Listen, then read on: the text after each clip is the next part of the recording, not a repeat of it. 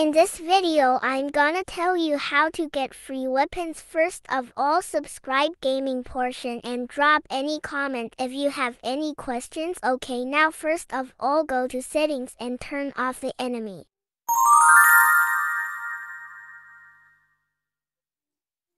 Now go to Yakuza Himawari office and go inside. There are many weapons that are freely available for us. Just collect them all. There are also many weapons in the main office.